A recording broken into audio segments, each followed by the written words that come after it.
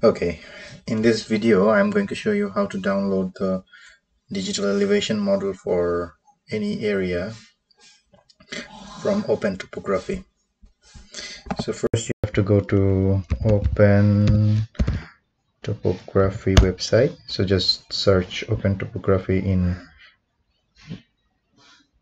Google and you will find the Open Topography homepage here. So click on the homepage you'll find some information in the home page but first you have to go to find data map.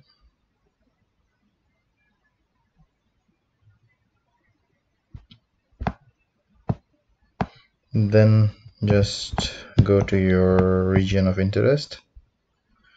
Let's say I want to select a region here for Bangladesh. I'm going to select this area. And you have to go to global and regional digital elevation model here. Here we'll find some all the free available digital elevation model. So let's say I want to download the Copernicus global digital elevation models uh, in 30 meter resolution so click in Copernicus 30 meter. This is your area of interest. Your data output is going to be geotiff file. Mm, just put some job title. This job title is going to be sent in your email address that is you're going to be providing here. So let's say my job title is uh, cop 30 for bangladesh. And the expression copernicus 30 DEM for bangladesh. And my email is going to be this one. Let's submit it will take a while. Just querying the dataset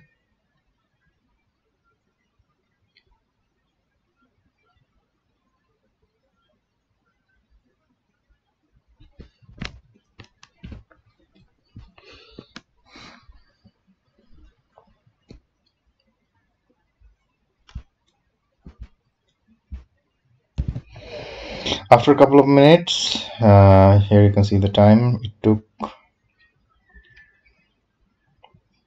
to make it ready for download. Just click here.